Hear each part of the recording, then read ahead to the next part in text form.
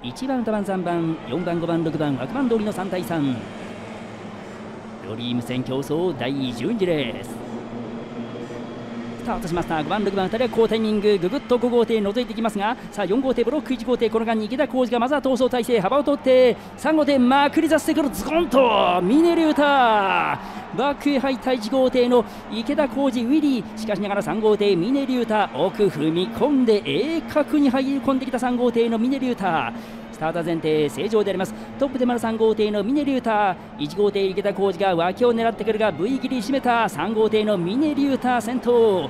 1号艇の池田浩二が2番手4号艇の桐生純平3番手。上位は3番1番5番で大時計前を通過していきます。あのターンは何ターンですか？いや、もう、名付けるとするならば、アロハターンで。アロハターンですか？はいまあでも今すごくうまくいきました。あの、イメトレしてったんですけど何回も。うんそのイメトレよりも船が向いたんで、あ、すごいなと思いました。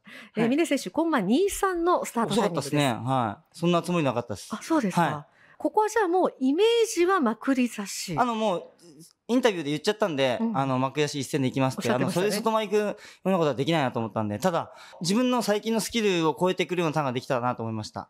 これあの本体整備もして、プロペラもかなりやってたようですけど。はい。それはね、あの、見た目の足が良くなりました。それでかなり良くなってます。はい。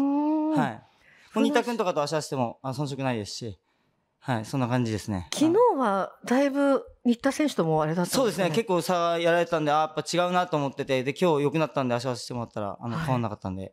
いやあでも多分実際はあっちもパンチあるんですよ、レース行ったら。うんうんはい。うんあの竹島のね八乙女神社に行かれてはい。おみくじ引いてきたんですよね。そうですね。あれ、あの後でも、ここ一般戦来た時はね、あの、良くなかったです。抽選。